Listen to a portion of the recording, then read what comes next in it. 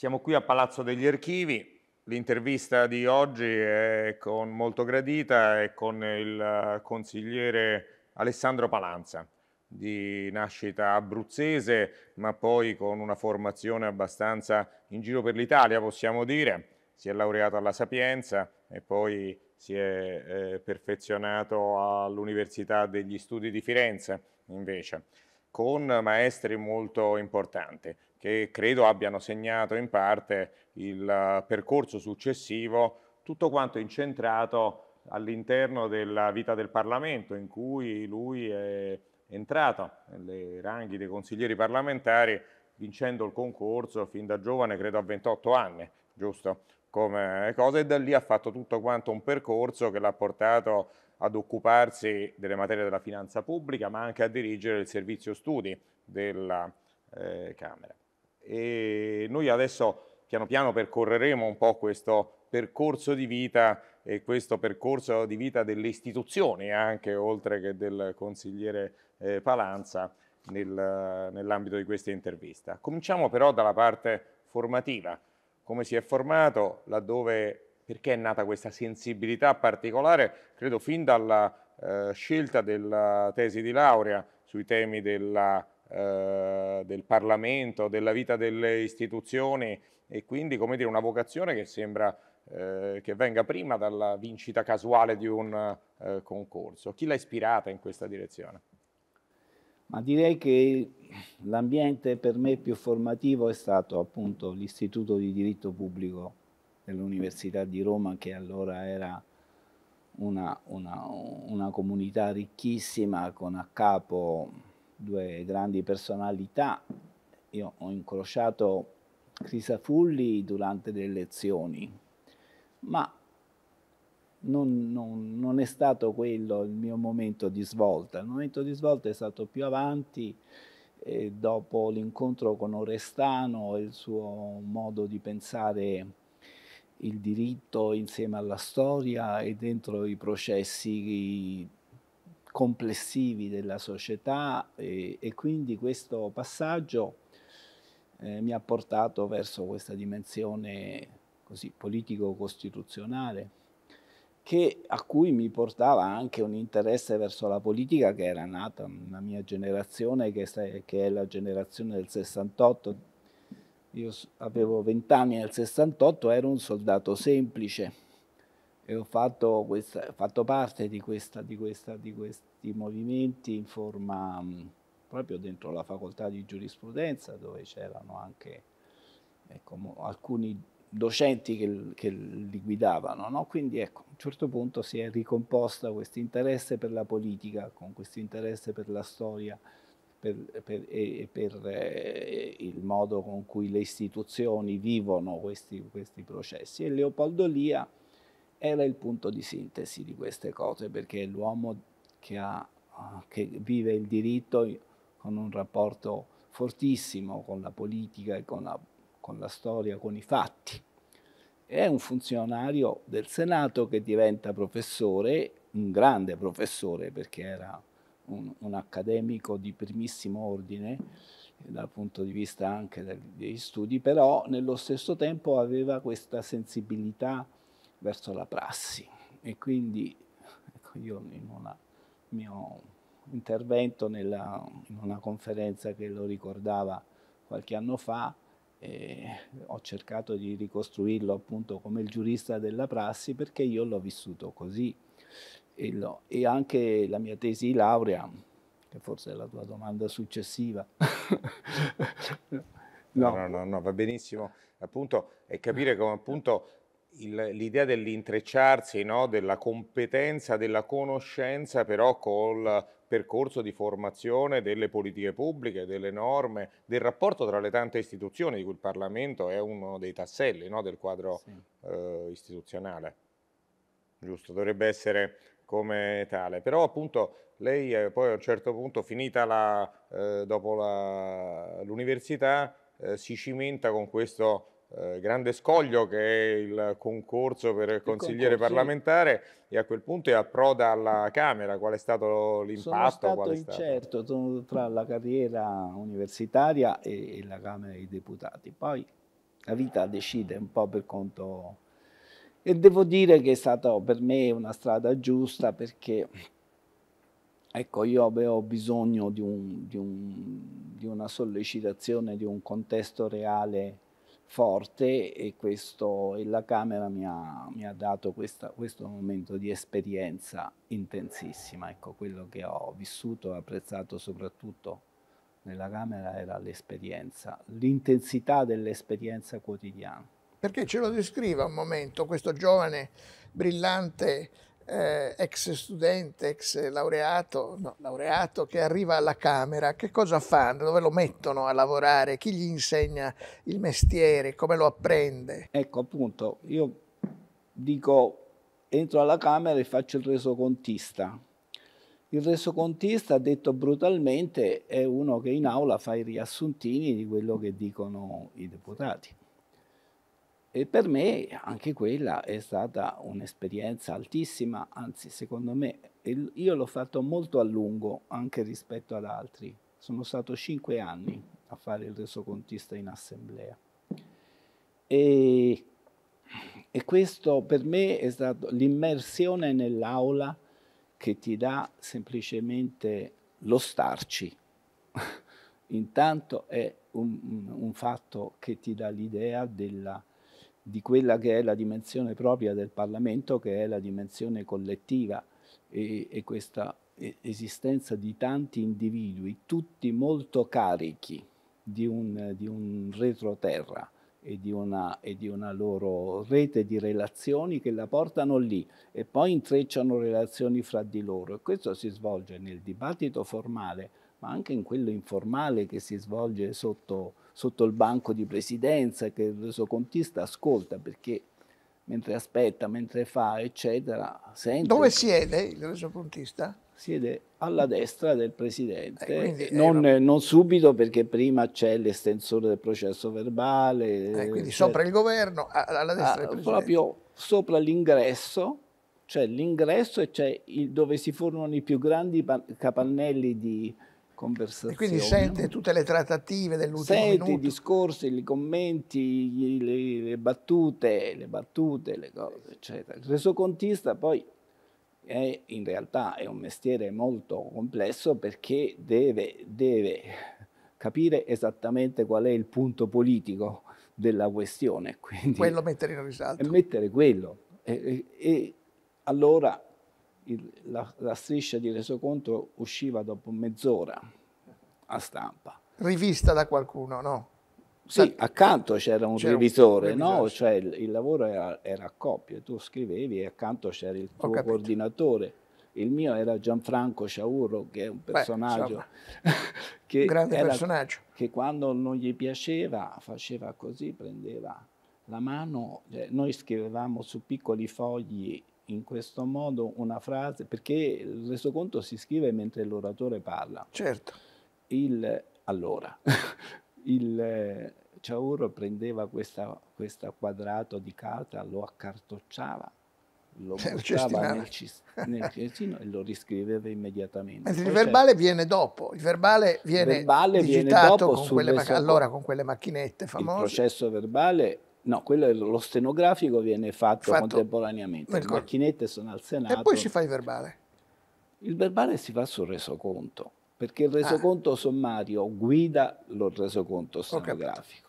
Tant'è vero che cura tutto l'aspetto della procedura. La procedura in Parlamento è, è diciamo, molto spesso accennata diventa, ci sono dei gesti, dei momenti di, del presidente o, del, o, degli oratori che danno il, il, dei passaggi procedurali che il resoconto deve esplicitare. Quindi il resoconto da un lato riassume, dall'altro allunga. È, è Ma rispetto uno... al segretario della commissione invece, qual è il rapporto? Chi è che gli uffici, i consiglieri parlamentari, no? Quale tipo di supporto danno e come sono strutturati al proprio interno ecco. perché la complessità allora, di una allora trattativa fare, parlamentare deve essere, no?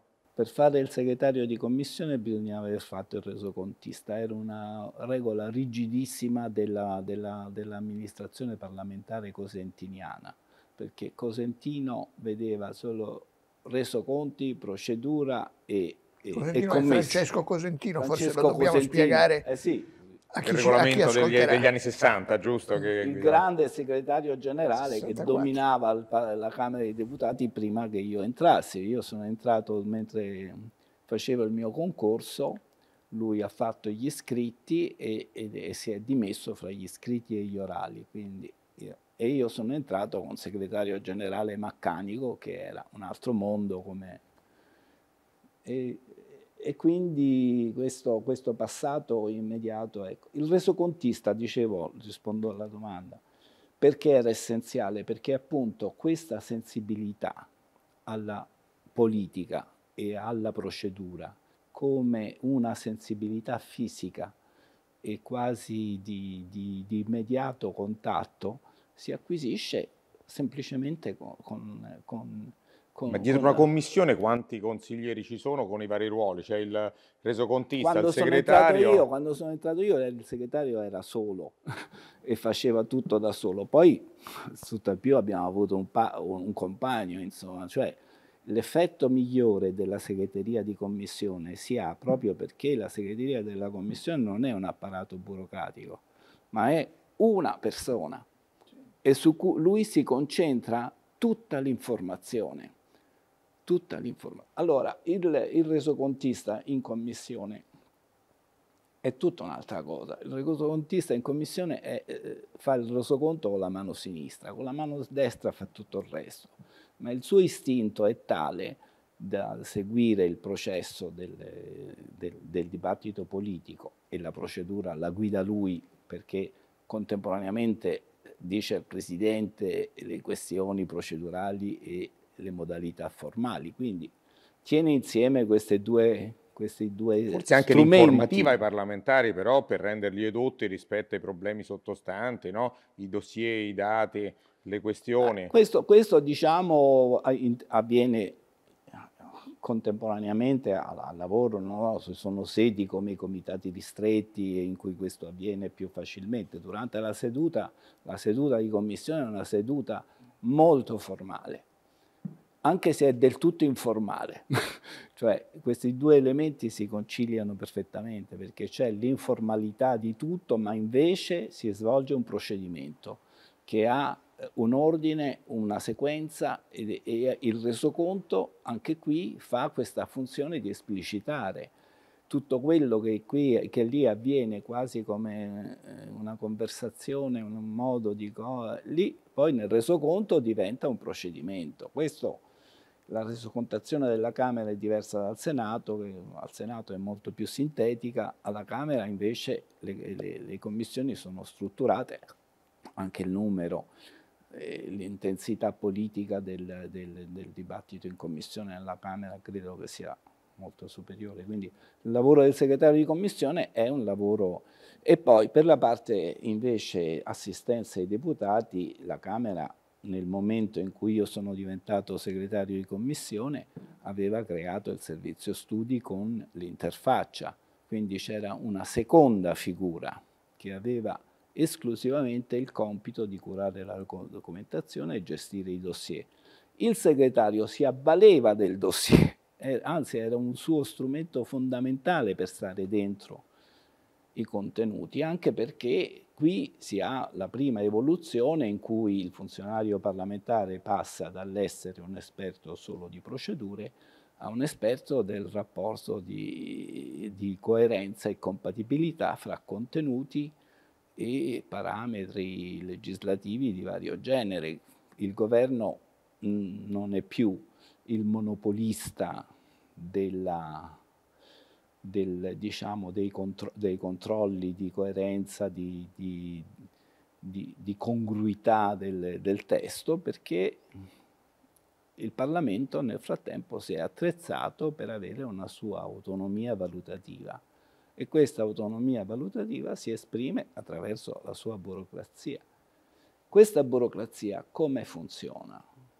Funziona soltanto nello spazio in cui c'è un'intesa fra le parti politiche e, che, e quindi gli dà modo di esercitare il, il suo ruolo, perché entrare sul contenuto è possibile per il funzionario parlamentare solo se è eh, consentito da tutte le parti politiche. E tutte le parti politiche consentono, perché è utile questa funzione di, di, di te, tener conto e quindi i parametri che vengono di validità e legittimità che vengono condivisi fra le forze politiche in forma tacita o in forma esplicita o in forma... Eh, sono quelli che la burocrazia parlamentare Entrare gestisce. nel contenuto vuol dire che se c'è un provvedimento, facciamo un caso concreto, se c'è un provvedimento davanti alla Commissione, poniamo giustizia, il eh, segretario di Commissione può essere che quando le parti politiche siano d'accordo, intervenga anche nella fattura formale del provvedimento, nel linguaggio interviene, con cui si esprime. molto attivamente, fino a quando tutte le parti politiche sono d'accordo. Lo consentono. Sono e quindi è un'attività, diciamo così, fortemente eh, non, voglio dire, non voglio dare a questo termine intrusiva però, nel senso che si, si, ci si inserisce nel processo ci si inserisce ma in questo spazio, mm. quindi tutto lo sforzo che, che è stato fatto dalla, in, anche la vicenda del progressivo arricchimento dei procedimenti, del procedimento di, per esempio di bilancio, è uno sforzo nel quale innanzitutto parte un processo di, di tipo istituzionale. Quello che eh, a me sembra importante sottolineare nella storia del Parlamento è che ecco, a partire da, dalla metà degli anni 70, io lo faccio coincidere con la presidenza in Grau, c'è un progressivo rafforzamento dell'istituzione sulla politica. Molte volte si, si viene raccontata la, questa vicenda delle presidenze comuniste alla Camera come una vicenda di politicizzazione, esattamente il contrario. E I funzionari parlamentari prima della, della, de, de, di, questa, di questa svolta erano personalità intellettuali molto rilevanti nella vita pubblica del paese, molto spesso, ce n'erano molti, però erano anche tutti inseriti nei partiti a livello elevato, erano consiglieri. Dopo, anche perché il lavoro parlamentare era molto diverso, ecco, nella mia generazione il lavoro parlamentare diventa un lavoro tecnico, legislativo, schiacciato sulla quotidianità e, e, e un lavoro di 24 ore, ecco, a volte anche di 24 ore veramente mentre prima appunto le attività esterne erano prevalenti su quelle interne perché le ore di seduta erano diverse, si faceva solo resocontazione e, e procedura in senso formale. Ecco.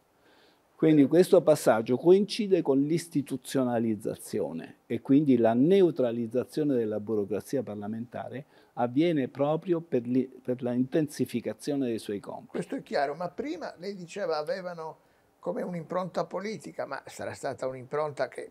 Impronta erano, di tipo culturale, ecco, erano selezionati per concorso. Leopoldo Elia sarà stato un erano cattolico tu... democratico e quindi avrà fatto riferimento a quelle forze, forse, ma non credo che non, fosse neutrale nell'esercizio. Ecco, eh, fosse... Voglio dire che però ecco, c'era questa compatibilità. Era, ovviamente erano abbastanza colti e raffinati eh da certo. distinguere i piani in cui operavano, certo. però è un fatto che, ecco, non, voglio dire, voglio dire c'erano...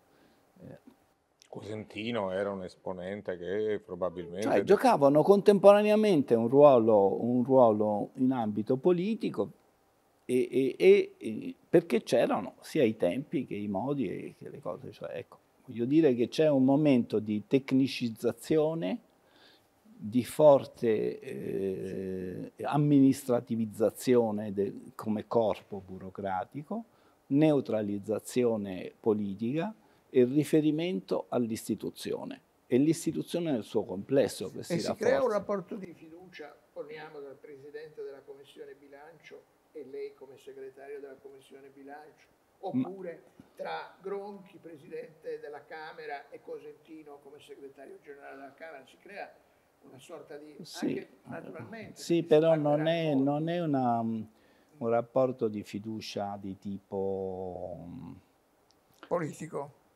Politico né personale quasi, no? perché il segretario di commissione non dipende dal presidente della commissione, dipende esclusivamente dalla sua linea gerarchica che lo porta al segretario generale e al presidente.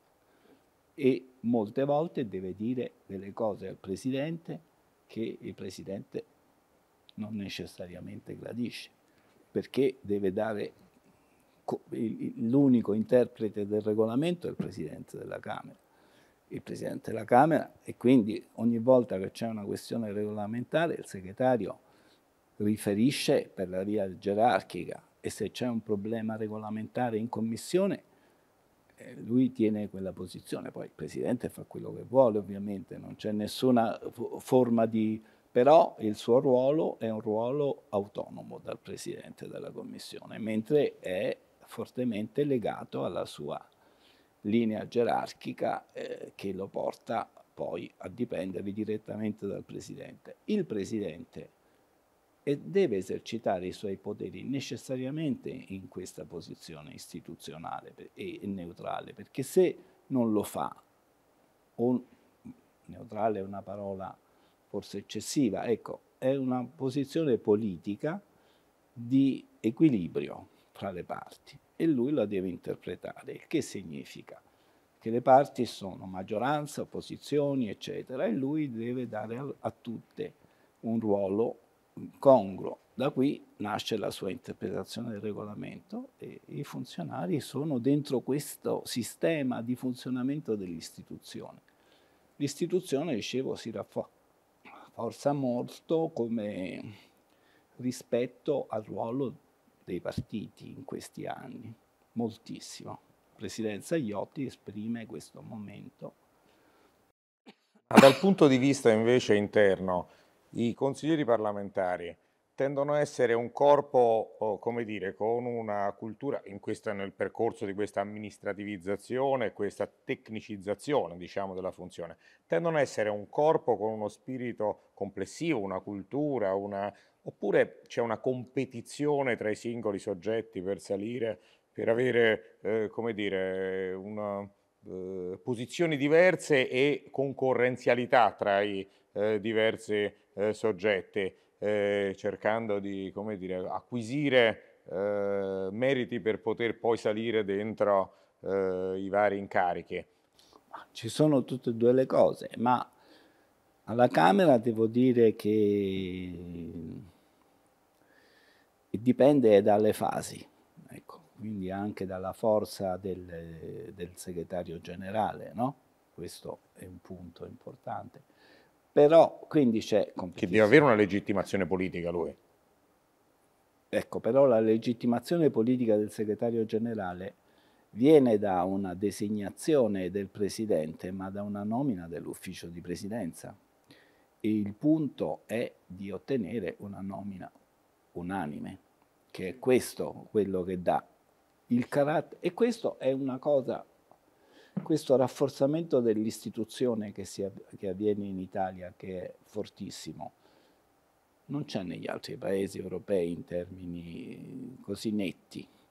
E quindi questa creazione di un'area di tipo istituzionale dentro al, al, al Parlamento è un, quello che ha consentito così questa forza della, anche della e anche questo spazio di lavoro della, della burocrazia parlamentare e, e, e, questo ruolo della presidenza è così importante nel tenere insieme ecco, un mondo che è estremamente conflittuale ed estremamente frammentato. E quello che vorrei dire è che la politica è protagonista in Parlamento, assoluta protagonista. E tutto il resto è servizio.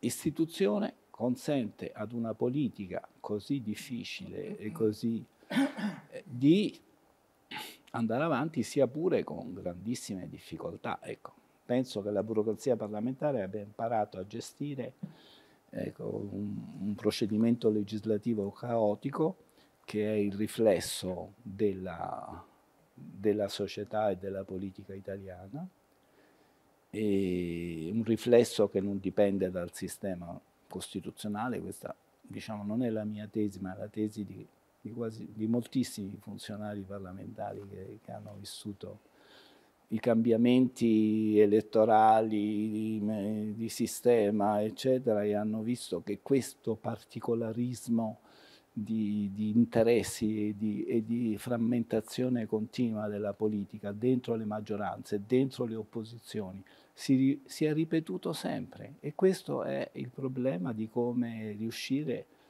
a mettere insieme i pezzi e, e, e convincere tante parti a trovare dei punti di intesa sul funzionamento dell'istituzione, che è un funzionamento estremo perché la conflittualità è così forte che molte volte i passaggi di funzionamento sono passaggi di tipo eh, estremo e, e qui c'è stata la costruzione procedimentale da un lato, dall'altro la flessibilità continua di accettare questa, queste, questi momenti di, di, di interruzione, eccetera. Quindi è è una burocrazia completamente al servizio della politica.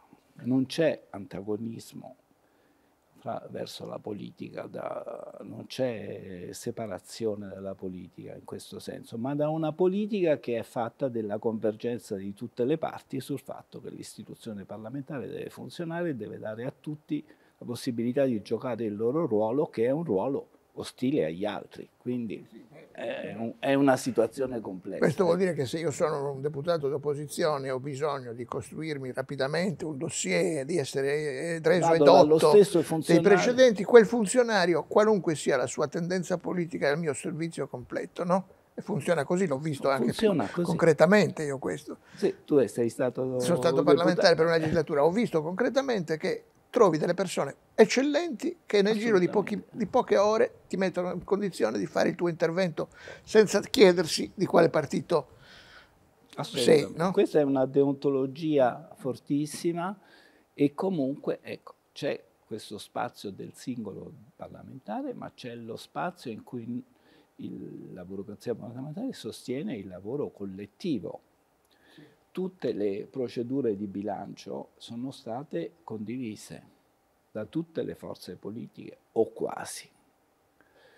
Quando noi appunto facevamo azioni molto incisive, come le valutazioni di ammissibilità degli emendamenti dal punto di vista del contenuto proprio della legge finanziaria o de, delle regole di compensatività, eh, tutto questo era preceduto in Commissione Bilancio da un lungo lavoro di predisposizione dei criteri con cui questo lavoro sarebbe stato fatto. Che cambiavano di anno in anno per la finanziaria? No, no crescevano, cresceva, crescevano, crescevano in termini sulla prassi e in termini di, di, di casistica che avevamo. Ciò non significava che poi quando applicavamo i criteri non succedesse il finimondo. E poi e c'erano gli appelli, no? E poi il Presidente della Camera faceva delle mediazioni molto pragmatiche ed empiriche, però io sostenevo, diciamo, molti miei colleghi erano scoraggiati dicendo ma come? Noi abbiamo fatto tutto questo e poi Presidente della Camera ammette tu queste, queste cose. Vabbè, perché c'è il gioco politico che lo chiede. Beh, intanto lì eh, noi lavoravamo con 10.000 emendamenti e questa, e questa, mediazione avveniva alla fine su 100 emendamenti, quindi insomma la funzionalità de, della cosa eh, era... E allora appunto c'era la questione dei microemendamenti, eccetera. Ecco, il problema è che un po' su questo, abbiamo... suo essere presi- lei è stato segretario della commissione bilancio, quindi uno dei ruoli cruciali della Camera, no? no taxation without representation, è proprio la, una delle funzioni cardine no? all'interno delle istituzioni. Su questa appunto probabilmente c'è un ruolo rispetto agli uffici del governo, in particolare la Ragioneria dello Stato, che ovviamente si occupa no, del bilancio dall'altro punto di vista e bisogna in qualche modo cercare di eh, rimetterlo insieme in un sistema di eh, programmazione no? delle attività collegate all'esercizio della funzione di bilancio. Su questo lei ha vissuto molte stagioni, no? dagli anni 70 all'interno di queste eh, gestione delle politiche finanziarie fino agli anni, eh, tutti quanti gli anni 90, per cui insomma veramente un periodo in cui abbiamo avuto dal uh, periodo, chiamiamolo il compromesso storico, ecco, diciamo il rapporto tra il Partito Comunista e la DC no? negli anni 70, proprio al suo esordio dentro questo, per cui dove il rapporto in Parlamento probabilmente diventava centrale no? tra le forze politiche, gli anni 80, gli anni eh, del CAF o del, del governo eh, De Mita, Spadolini, insomma altri governi, e poi gli anni 90 in cui la politica, come cambia questa funzione dei rapporti tra il governo e le, il dibattito parlamentare su una cosa cruciale come il bilancio? Come io, cambia il suo ruolo all'interno di questo? Io vedo, il ruolo della, degli uffici parlamentari. Eh, vedo più continuità che discontinuità nel senso che appunto le, questa crescita che chiamo procedimentale dalla sessione di bilancio in avanti, no? la sessione di bilancio è la prima volta che si organizza una, una, procedura molto complessa, molto ampia e un sistema di rapporti fra Parlamento e Governo che comprende la parte legislativa, l'indirizzo, il controllo, eccetera. Tutto questo continua ad arricchirsi negli anni, ecco la svolta degli anni 90 in cui il governo assume un ruolo diverso, no? perché fino alla fine degli anni 80 il Parlamento domina il, eh, e guida il processo legislativo in commissione. Non nel senso che il governo, il governo sta in commissione, è un partner importantissimo, però il lavoro, il testo si fa nelle commissioni parlamentari. All'inizio degli anni 90 c'è una grande svolta, questo vale, ecco, la finanziaria ovviamente è sempre stata del governo, però appunto c'è una parte parlamentare molto molto molto rilevante e questa, questa, rimane in termini di emendamenti eccetera. Allora io ricordo insomma la formazione dei, dei, degli emendamenti del governo eh, negli anni 80 avveniva in commissione l'emendamento del governo era definito nel rapporto con i gruppi di maggioranza, ma i gruppi di opposizione si facevano sentire come. Negli anni 90 cambia? Non lo so, è quasi uguale da questo punto di vista. Ecco. Cosa cambia negli anni 90? Ecco, negli anni 90 succede che eh, si rafforza moltissimo la procedura di bilancio con la creazione del DPF di, la creazione dei disegni di legge collegati che diventano tutte leggi delega e quindi hanno una forza espansiva e quindi diciamo che l'iniziativa legislativa anche per il procedimento legislativo ordinario che fino agli anni Ottanta è rimasto in mano alle commissioni diventa un'iniziativa legislativa governativa. Tutta la legislazione organica e strategica passa in mano al governo attraverso la procedura di bilancio, perché la procedura di bilancio è in realtà una procedura di programmazione a tutto campo, perché appunto orchestra la legislazione per tutto, per tutto l'anno. Quindi c'è un grande sforzo di programmazione. Ma tra la Commissione Bilancio e Ragioneria Generale dello Stato che svolge una funzione di supporto, quantificazione, ma anche insomma diciamo in qualche misura di indirizzo dell'azione finanziaria del governo, l'hanno messo in luce molte delle nostre eh, interviste e voi che invece state in Parlamento, come si stabiliscono i rapporti? Ma sono rapporti... Fattualmente intendo. Attualmente? Fattualmente. Ah, fattualmente. Fattualmente è, sono molto intensi e, e amichevoli. Cioè, sono rapporti, si crea un, un'amicizia e un club di, di questo mondo di funzionari di bilancio che si occupano di bilancio in tutto il circuito. perché sostenere una procedura così complessa è una cosa che si può fare soltanto con questo elemento di sinergia e di intesa e di fortissima anche condivisione dell'impianto. Allora, i funzionari parlamentari avevano un ruolo che si è rapidamente eh,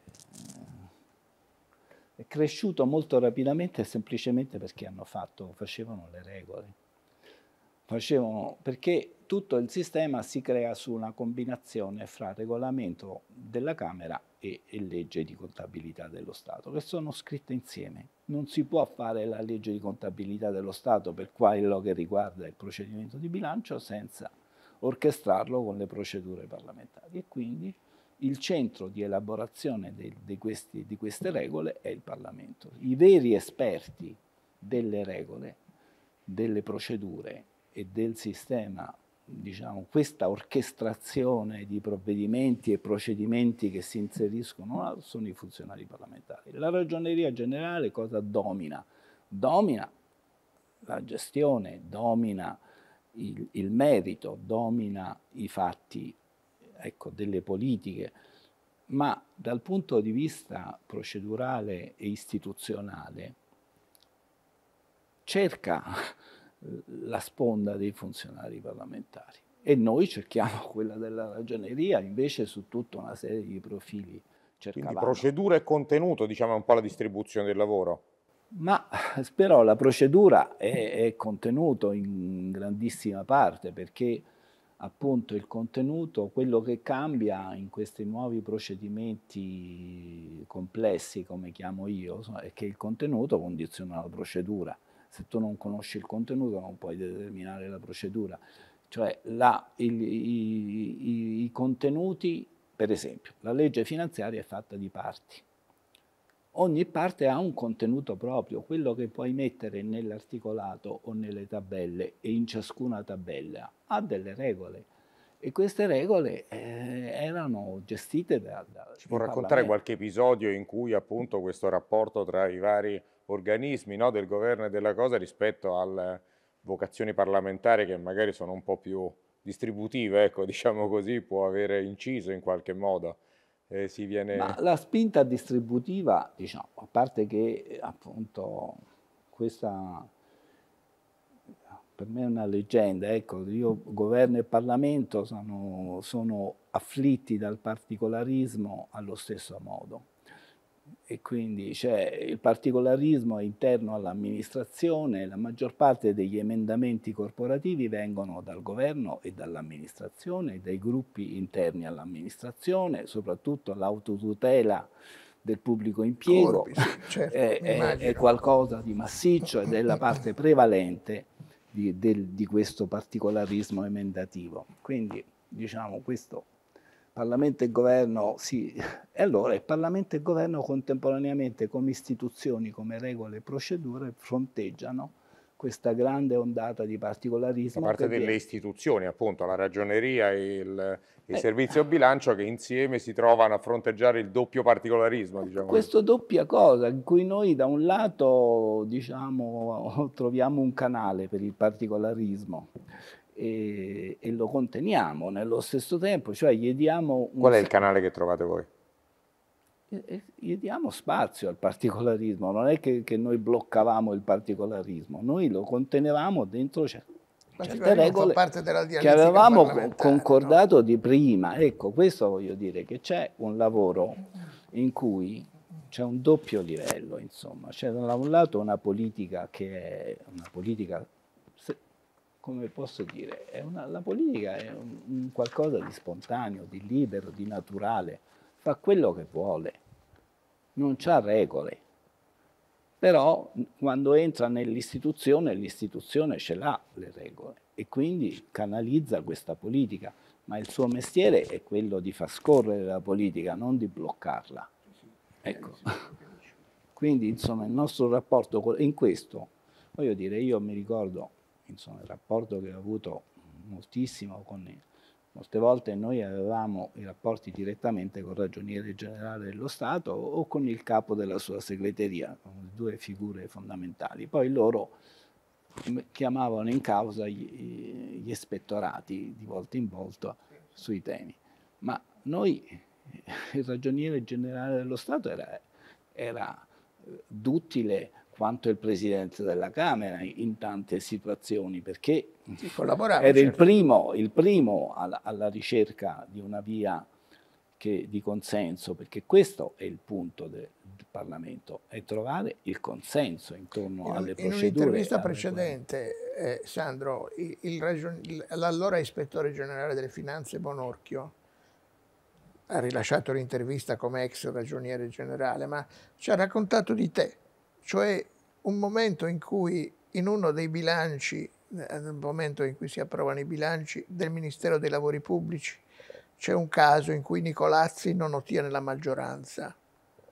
E allora succede la rivoluzione, perché naturalmente è a rischio tutto l'impianto. E allora la Presidente Iotti va da lui e dice lei mi deve trovare rapidamente la soluzione. Lui si mette in contatto con Palanza. Lo ricordi questo, no? Sì, si mette in contatto con Palanza benissimo. e alla fine fate un artificio, quello che si potrebbe chiamare un artificio, ma diciamo positivo. Si cambia una tabella.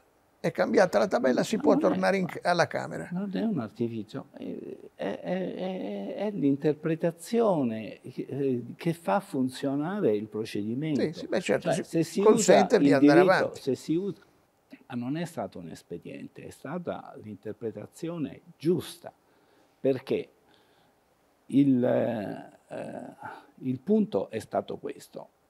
Noi ci troviamo di fronte all'interpretazione formalista di, di, di, una certa corrente di, del modo di interpretare, se vuoi, il diritto, la procedura, qualsiasi cosa che è, è un'interpretazione che è invece legata alla razio delle procedure e delle norme.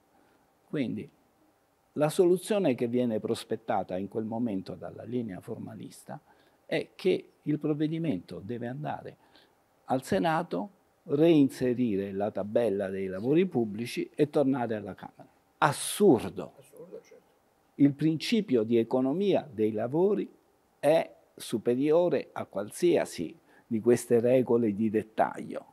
È chiaro che una cosa era strutturale, che un, un, il bilancio comprende la, le tabelle di tutti i ministeri, quindi non può essere approvato dalla Camera una, un, una, un, bilancio senza tutte le tabelle, perché esiste il Ministero e, e ci deve essere la tabella.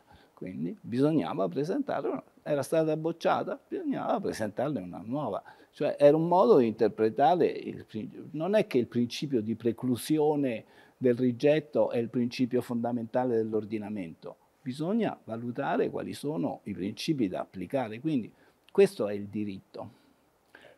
Molto, però l'episodio è molto interessante, adesso tu me lo chiarisci ancora meglio. Quando io ho fatto il consigliere di Stato, ho capito quanto era giuridico il mio mestiere di funzionario parlamentare e come fosse simile. Consigliere di Stato, io ho fatto consigliere di Stato sempre in giurisdizionale, quindi ho fatto, ho fatto il giudice in senso stretto e, e ho visto che quando tu ti trovi di fronte è il fatto che guida la sentenza. Tu ti trovi di fronte al fatto e capisci che significano le norme in rapporto a quel fatto ed è esattamente quello che la facevo. La formazione di Ristanio che riesce.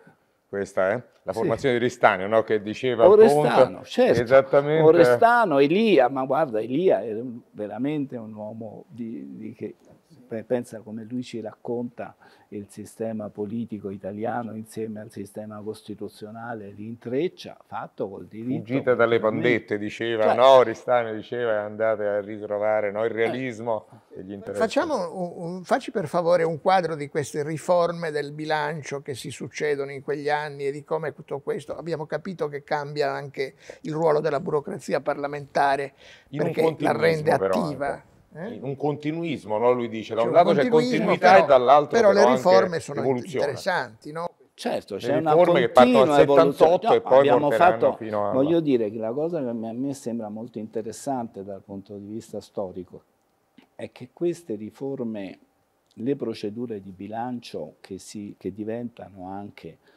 sistema delle grandi deleghe e la legge comunitaria che è un'altra portaerei di deleghe, no? E, oppure eh, tutto questo per cui il governo si impossessa della guida del processo legislativo avviene prima del passaggio del, alla, al sistema maggioritario, eccetera. Quindi tutte le interpretazioni che lo raccontano come un effetto del sistema maggioritario non sono vere, perché quello avviene prima. E, nel senso che questo, la legge delega di Amato, per esempio, è del 92. e, e, il cambio di sistema elettorale è nel 94. Questa sequenza di riforme, e poi io voglio dire, dalla sessione di bilancio alla, alle, alla, alla riforma dell'88 che amplia il sistema, introduce il DPF e i collegati. Mi è sembrato di capire che per lei quello è stato un momento di forte cesura, forse più di quella del 97, quella dell'88 di riforma. No, per me sono perché diceva che lì è stato veramente il passaggio del DPF. No? Che, che... Anche la sessione di bilancio non ha scherzato come momento di, di, di, di rottura, perché passiamo da un sistema legislativo anarchico a un, a un, processo legislativo organizzato in ogni passaggio, in ogni momento, è tutto orchestrato. E questo si trasferisce progressivamente. No? Questo Siamo... col 78, questo avviene. Questo avviene nell'83, la sessione di bilancio. Il 68 è la 468 che introduce la finanziaria e crea il marasma, perché la finanziaria è un, un, senza regole, fino all'83 non funziona niente. è l'83 che comincia a funzionare. Dall'83 in poi io trovo che ci sia invece un arricchimento progressivo e la, la riforma del 97 fu semplicemente la espansione di quei principi a tutte le attività parlamentari e legislative. Cioè quella logica di procedimenti attrezzati, organizzati e coordinati si espande. Io nel, nel 97 ero capo ufficio del regolamento e quindi ho fatto io quella, la parte di segreteria no? con Violante, presidente, e, e so benissimo che ho portato tutto questo tipo di, di esperienza allargandola a tutto il procedimento, contingentamento dei tempi, eh, selezione degli emendamenti, filtro, tutte le cose del, rafforzamento del processo decisionale che viene con quella riforma, ma insieme anche l'istruttoria legislativa come metodo costante e obbligatorio di lavoro e anche lo stesso Comitato per la legislazione, è sempre questa idea di una istituzione che in quanto agisce come istituzione può sorvegliare diciamo, le regole di funzionamento del sistema. Infatti il Comitato per la legislazione è un organo paritetico dove non c'è maggioranza, quindi che si associa alla funzione diciamo, di equilibrio del Presidente. Interessantissimo questo quadro in cui noi abbiamo più che una, un passaggio prima seconda repubblica, in realtà un percorso evolutivo, no? 78, 83, 88 e poi 97 come evoluzione, ma abbiamo sicuramente un elemento che cambia il quadro di questi elementi che è la fine degli anni 90 in cui abbiamo elezione diretta dei governatori, abbiamo il decentramento amministrativo con, prima con la Bassanini e poi abbiamo la riforma costituzionale del 2001 e viene introdotti dei principi di federalismo fiscale. Lo Stato diventa sempre più, in realtà partendo dagli anni 70 col disgelo no, delle regioni, diventa sempre più un fenomeno come dire, un po' più disaggregato, no? che bisogna in qualche modo rimettere assieme secondo dei principi nuovi, no? che poi andranno verso eh, questo federalismo fiscale forse ancora da, da definire bene ancora oggi. Che cosa come è impattato questo col sistema del Parlamento e col sistema del, del, del bilancio dello Stato? Ma Sulla base questo, della sua esperienza, ovviamente. Diciamo che eh, tutte queste cose di cui vi sto parlando sono lotte imperfette, sono tentativi, sono processi che si compiono in modo difettoso, imperfetto e difficile. Cioè, io parto dal presupposto che noi abbiamo vissuto una lunga crisi eh, del nostro paese che nasce dal debito e anche da, da, da, dalla disunione territoriale. Quindi la risposta qual è stata così complessivamente? È stata quella di pensare a un, a un sistema multilivello. Quindi il sistema multilivello, tutta la procedura di bilancio si proietta verso l'Unione Europea e allo stesso tempo così, ha in realtà gestito nonostante il titolo quinto, nonostante l'elezione diretta, eccetera, ha gestito il sistema delle autonomie in modo molto autoritario. Questa è la realtà. La legge sul federalismo fiscale fu il primo tentativo di, di, di, di passare a una forma invece meno centralistica. Ecco, io la mia lettura è che il governo della finanza pubblica è stato centralizzato per ragioni anche di necessità, perché qui in questa lunga crisi italiana, in, nostra, in questo sforzo di mettere insieme appunto la società, la politica, le istituzioni, il punto fondamentale è che eh, l'obiettivo è la sopravvivenza del paese rispetto a rischi molto gravi di, di, di dissesto, eccetera. Allora, il sistema multilivello è stato... Quando si fece la legge sul federalismo fiscale, in Parlamento noi scrivemmo anche una riforma della, della, della legge di contabilità. Ma prima di quella che fu, uscì, c'è un, una proposta di legge che a me piacerebbe che fosse ritrovata e messa agli atti, che presentata da un deputato, eh, il deputato Leone di Forza Italia, che però fu elaborata col, dalla Commissione Bilancio nel suo insieme e che era una, una procedura nella quale invece si puntava a valorizzare questo elemento delle autonomie e si puntava ad una procedura di bilancio nella quale il DPF diventasse lo strumento di governo della finanza nazionale di tutti e tre, di tutti i livelli. E poi lo Stato faceva la sua legge finanziaria, la, le regioni facevano la loro, i comuni l'altra. Mentre oggi la legge finanziaria no, ha continuato a legiferare su tutta la finanza regionale e locale in modo come impatta questa pressione che comunque ci sarà dei territori eh. che ormai hanno le competenze no? e di fronte invece a un bilancio accentrato? Come impatta eh, tramite i parlamentari, tramite eh, come entra dentro in qualche modo la voce del, del territorio dentro questa decisione accentrata?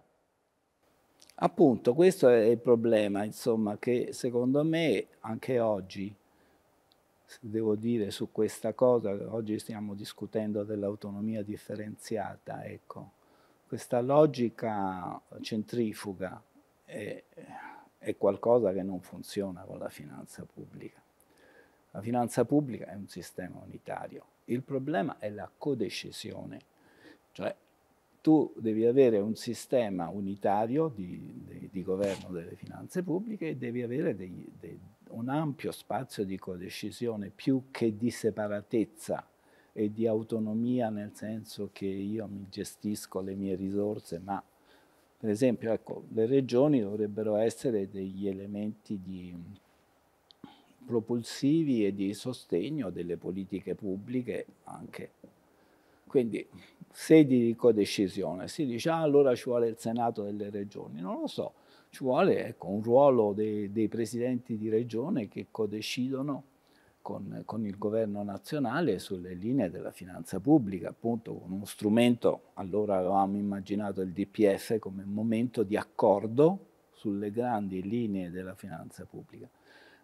Diciamo che oggi corriamo il rischio così di, di, un, di, un, movimento regionalista che diciamo in direzione centrifuga, forse perché non abbiamo incoraggiato quello che, che, che invece eh, si associasse. Un federalismo cooperativo, allora Un federalismo cooperativo, un federalismo propulsivo dal basso verso politiche nazionali, perché le politiche non sono regionali, sono politiche nazionali europee.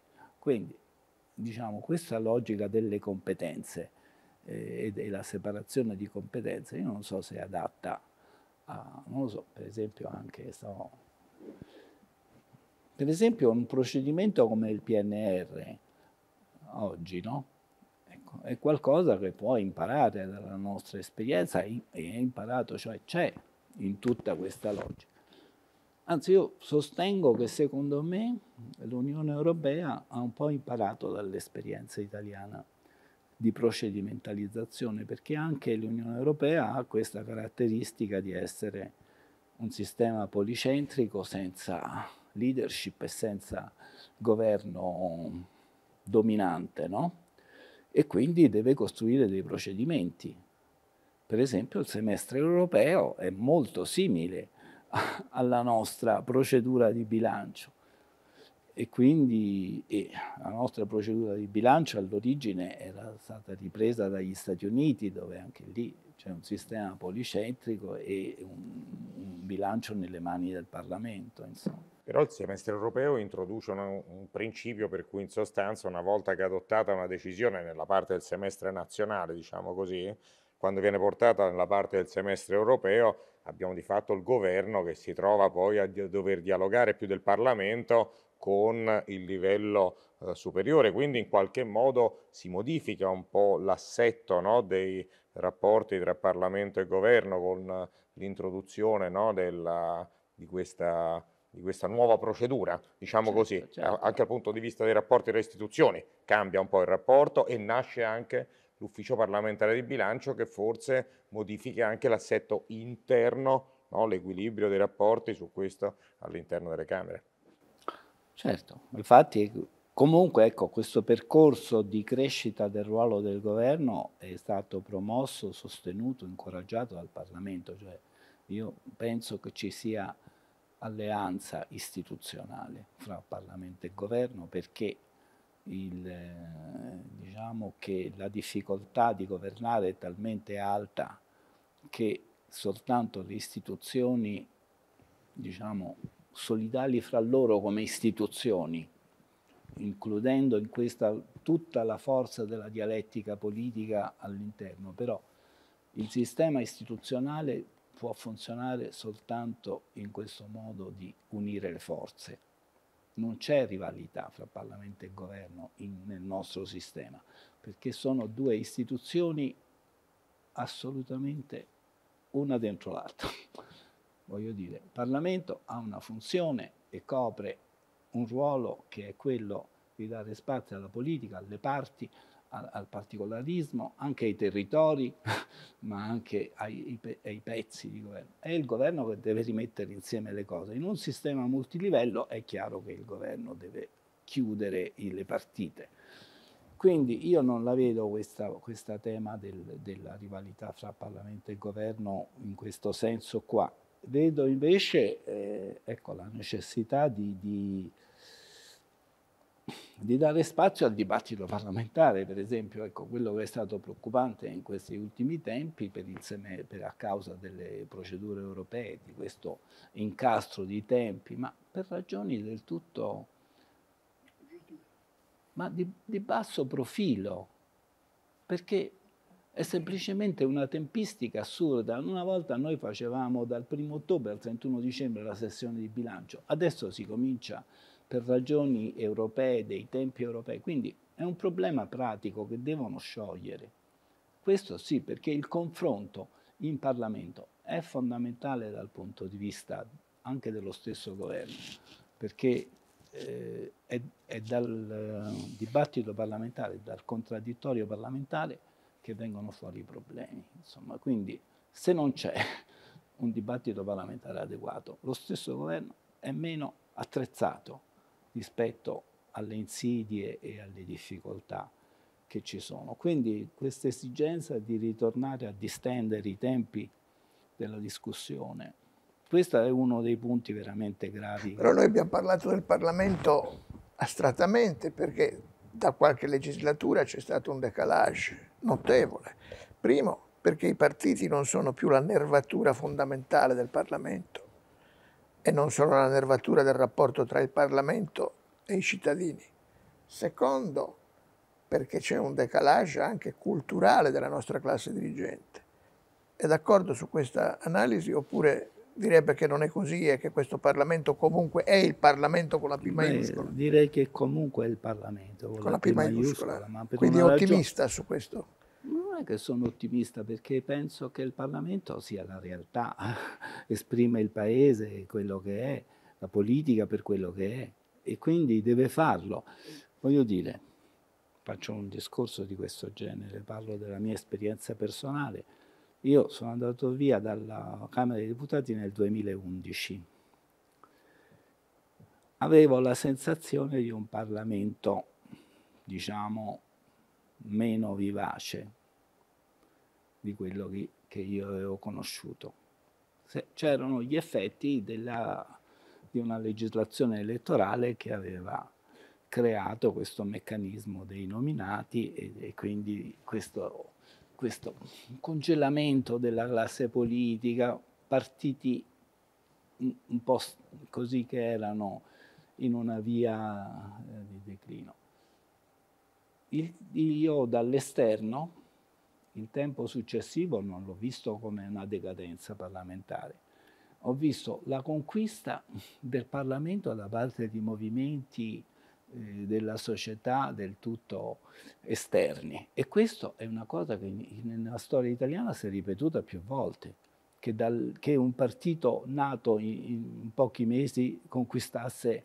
Eh, e questi sono fenomeni che hanno dato uno scossone enorme. Cioè il dibattito parlamentare, appunto, se uno dà peso, diciamo, più alla politica e alla rappresentanza della società, che non al, ai, ai, problemi di buon funzionamento, no? Perché il mestiere del Parlamento non è quello di far be funzionare bene lo Stato, ma di rappresentare la società, perché la democrazia porta la società dentro lo Stato. Se la società è questa, è questa società che deve andare. Sì, Se si crea un'oligarchia che blocca l'accesso, allora sì. Sì, perdonami, però nella, nel, nel rappresentare in questo verbo c'è una mediazione, cioè tu assumi quello che ti viene dalla società, lo razionalizzi, lo metabolizzi, lo, lo medi in alcuni casi, lo temperi e lo prospetti nell'arena politica. I partiti hanno fatto questo in Italia dal dopoguerra ad oggi, eh no? certo. Sono stati grandissimi i nostri partiti perché hanno saputo in un'Italia più conflittuale e più frammentaria di questa che abbiamo oggi, come era quella uscita dal fascismo, c'è stata questa grande capacità di mediazione che poi si è espressa attraverso il Parlamento, questo voglio dire io. Eh certo, questo io lo riconosco, i partiti di una volta avevano un'integrità di funzione, no? riuscivano a esprimere, però mettevano insieme cultura, società e... e, e Pizzo Russo diceva che non erano solo contenitori, ma erano, fornivano identità. Cioè erano loro che costruivano, sì, non solamente le rincorrevano, no? Posso dire una, posso dire una esatto. cosa brutale? Ecco, perché c'era una società che si faceva ammaestrare. La Chiesa Cattolica era una grande maestra e aveva discepoli. Il Partito Comunista era maestro severissimo e aveva discepoli e ogni partito aveva una costruzione. Ma la società di oggi è diversa. Cioè, l'individualismo, il fatto che ciascuno abbia eh, acquistato un suo, una sua dimensione, si sia sottratto alle gerarchie familiari, alle gerarchie religiose, alle gerarchie ideologiche, alle gerarchie intellettuali. Cioè, abbiamo quest'altra società. Oggi i partiti inseguono il consenso dove riescono a trovarlo per interessi. La cultura si eh, opera per conto suo, e, e però il Parlamento è l'unico luogo dove tutto questo si, si, si rimette insieme. cioè una società che si è frantumata come si è frantumata, ma per fortuna questo è avvenuto anche in altri paesi, così ci siamo resi conto che dipende da com'è la società. Se la società si frantuma e si divide in gruppi irriducibili l'uno all'altro, eh, il sistema istituzionale e politico funziona diversamente, insomma. Eh, vediamo la Gran Bretagna dopo la Brexit, o prima della Brexit, dopo la Brexit, o gli Stati Uniti, insomma, sono stati esempi eclatanti. Noi viviamo questa situazione di, da più anni, ecco, da, da, la nostra crisi dei partiti drammatica a cavallo del 92 è stata una, deflagrazione che ha anticipato tutti questi fenomeni. E quindi il, io penso che il sistema istituzionale e parlamentare abbia reagito in modo adeguato, ecco, riuscendo ad assorbire questi fenomeni. Sul problema dell'impreparazione, ma l'impreparazione è un fatto temporaneo, cioè, la formazione è fare politica, fare, vivere queste nuove condizioni e vedere quello che succede. Se noi vediamo la legislatura passata, vediamo un percorso di maturazione, di crescita delle forze politiche nel contraddittorio, nella lotta politica. Una Questa è la mia visione, però... Una nota di ottimismo, ma insomma... No, non voglio dire molto che... Molto interessante questo, questa osservazione finale, mi sembra in qualche modo anche, anche eh, incoraggiante ecco, rispetto a... No, voglio dire, io parto da, dal presupposto che la realtà sia una realtà difficile e piena di negatività e che però le cause non sono appunto antropomorfiche, sono cause molto complesse. Secondo me oggi siamo in grado di capire meglio la vicenda italiana proprio perché eh, abbiamo, non abbiamo più quella comparazione a senso unico per cui vedevamo negli altri paesi dei modelli e noi che dovevamo adeguarci a questi modelli. Adesso questi Anche modelli crisi, certo. hanno imparato che quando la società è turbolenta, i modelli entrano in crisi e, il nostro sistema diciamo, è un sistema cresciuto su una società non turbolenta, molto turbolenta. Benissimo, noi siamo veramente contenti di questa intervista che ci ha dato tante indicazioni e ringraziamo quindi il consigliere Palanza. Grazie a voi, è stato un piacere.